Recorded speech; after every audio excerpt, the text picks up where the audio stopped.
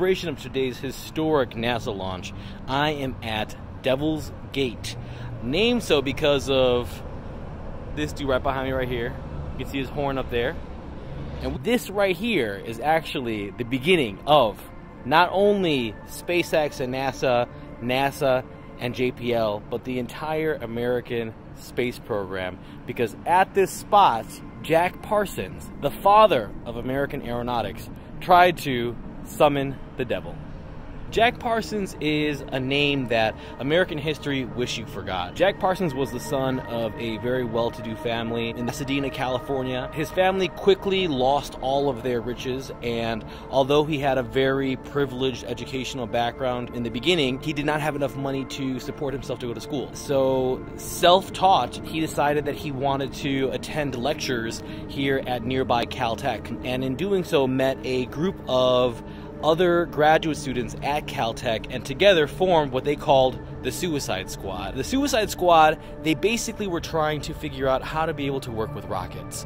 And they did this really, really well. Their experiments were very dangerous, but it led to some really big advances. And this got the attention of the US government. The US government came, talked to this group of ragtag individuals, the Suicide Squad, and they decided, you know what, we're going to give you some money, money, and that's how the Jet Propulsion Laboratory, or JPL, was founded here in Pasadena. Um, one of the reasons why this spot is so important to that history is because Caltech, they couldn't do the experiments there, so they actually came to this canyon, and this canyon was always known as Devil's Canyon because of homeboy behind me over here. And this is where they actually began their first experiments. So, we are standing on the ground of the origins of the American space movement. Jack Parsons was a very, very controversial figure. Uh, people forget that back in the early 20th century, uh, space exploration was not seen as being a very Christian thing. Why? Because according to all religions, God lived in the sky, right? Jack Parsons became increasingly connected to the occult and spiritual thinking. Early on, once he had finally gotten a bunch of money, etc., he decided to convert to Aleister Crowley's Thelema theology, which has its origins in demonology, Eastern practice, Eastern spiritualism, etc. And through this spirituality, began to practice something known as sex magic. Sex magic is the belief that through the act of sex, in that moment of orgasm, you are momentarily connected to the universe. And in that instant, you can request something from the universe in return. It's basically like a up version of The Secret, uh, but he really believed in this. And Jack Parsons was able to attract a wide number of individuals who would also ascribe to this this tenet and this belief system. One of those individuals we know and love as the father of Scientology, L. Ron Hubbard. L. Ron Hubbard was one of the frequent guests to the Parsons sex magic orgies, etc. One of the reasons why was because Jack Parsons, when he was a kid, was super into science fiction, and the fact that L. Ron Hubbard was a science fiction writer made him very uh, cool to Jack Parsons.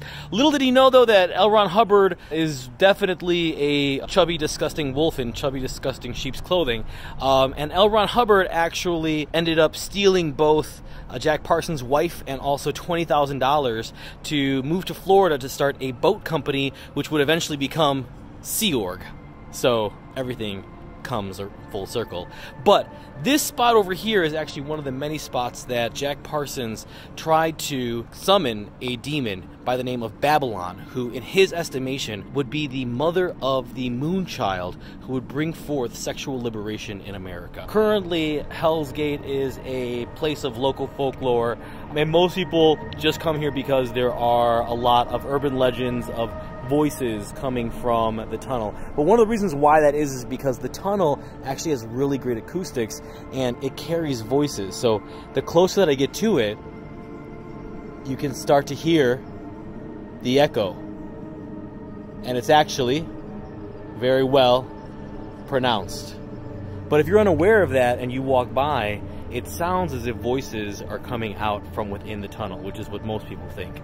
Uh, there are legends of child sacrifices and a mother killing her child in the tunnel, and it's, it's haunted by them. This story, this story actually ends really horribly for Jack Parsons. After the notoriety of his sex magic parties became known to others, he lost his position at JPL, which ends up becoming NASA, and he is has to resort to working at a gas station just to be able to survive. He also starts renting out rooms in his house and is basically penniless at the end. He gets a offer from a Hollywood production to create some explosives for the film, and he readily accepts. But in doing the in creating the, the, the explosives for the film, he ends up accidentally setting some off, burning off half his face and dying as a result of his injuries. Jack Parsons is the name that most people in American history have decided to uh, quietly leave out of the conversation, even though he is one of the founders of the modern America today and is the creator of the space system that we know and enjoy so much technology from.